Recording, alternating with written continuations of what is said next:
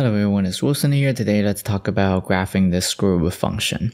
In fact, I actually want to use this video to just talk about the general basics of the um, square root function here to know its shape and also know its domain and the range because after this video, I'm going to make a series of videos talking about graphing different types of square root functions using transformations based on this. So that's why I'm going to just graph this one first. And so for graphing this one, I'm just going to simply just plot points and to do the graphing.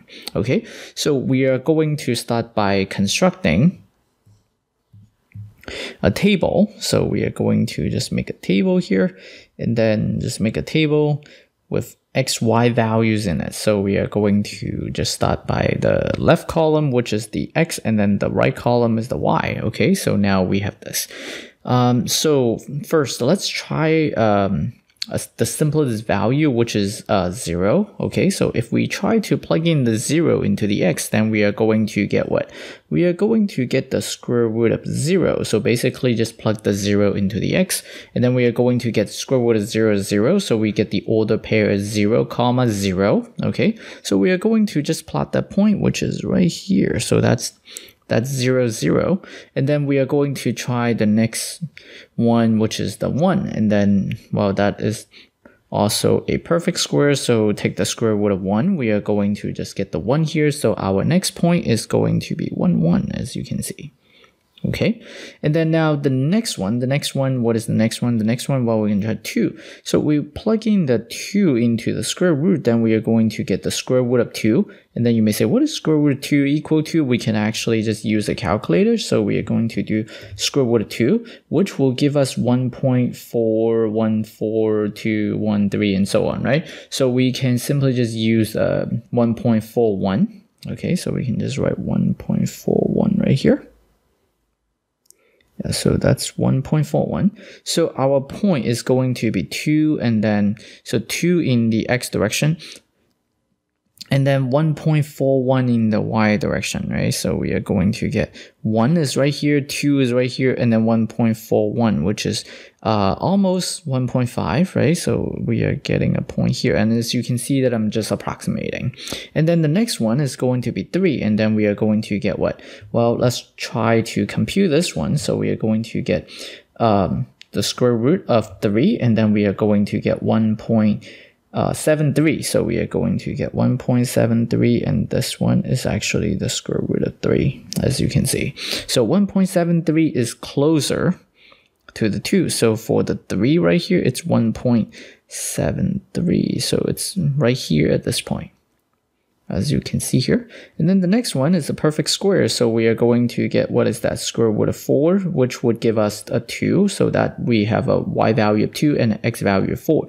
So we get 0 and then 1, 2, 3. Well, it actually makes it more difficult to count. So I'm going to just, just label the axes first, I mean the label, the scale first, so that it will be easier for us to see what's going on. So we're going to get 0, 1, 2, 3, 4, 5, right? As you can see, like the negative 1 on the other side. Negative 2, negative 3, negative 4, negative 5. And then here we are going to get 0, 1, 2, 3, 4, 5, and then negative 1, negative 2, negative 3, negative 4, negative 5. Yeah, so that's um, after labeling, it makes it a lot easier to read. So now I'm going to just continue. Okay, as you can see that the next one is 4, 2. So 4 is right here and then 2 is here. So we're going to get this point here. Now start um, if we connect those points, then we can actually get the uh, the curve for the square root function. But I um, since my xy plane can still show x equals 5, so I'm going to just plot one more point there. What happens is that we are going to get what is that square root of 5. What is square root of 5 equal to? Now, well, let's do the calculator. So we are going to get 2 point uh, 24. So 2.24, or you can think of that as about like 2.2, 2.3. So at 5, at x equals 5, we have 2.24. So it's, it's here, as you can see. So now what do we do? We are going to, um, we're going to make the, we're going to make the curve. We're going to make the curve and it's this is our square root function. And then you may say, what about the, uh, the left side of the y-axis? What happens? Um, if you think of it, the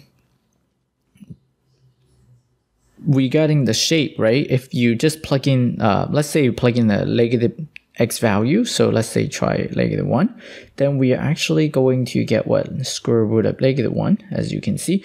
This is actually imaginary, so we are not going to be able to plot it in the in the plane with just real numbers, so we have what? We have nothing to plot on the side. And actually, if you plug in any other negative numbers, we actually will have uh, a complex number for the y, so we will not be able to plot anything here. And so as you can see that this is a positive square root function. So as you can see that there is nothing below the x-axis also. Okay, so that is the general shape for the curve. Yeah, so that's that's for the, the graph for the function. Now, we also want to talk about the range in the domain. So we don't need the calculator anymore. Let me close that. Now, how do we find the domain? Um, regarding the domain, we can actually just simply just look at the graph of the function. As you can see that it starts from zero and then it goes all the way. Well, there is no limit on how big the x value that you can plug into this function. You can plug in 1 trillion, 10 trillion, and so on, right? So you can see that the function will just keep going. So we are going to have the domain of zero, okay, to infinity.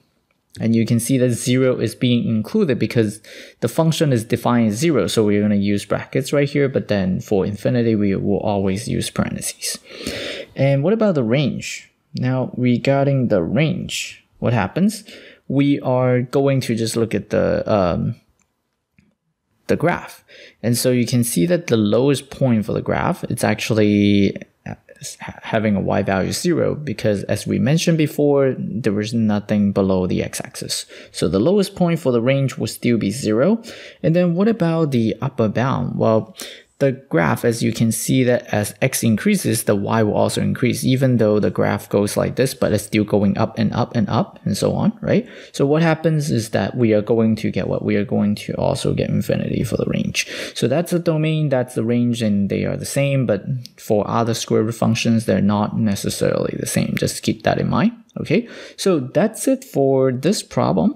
And then we are going to talk about uh, transformations to do the graphing next time using this basic function.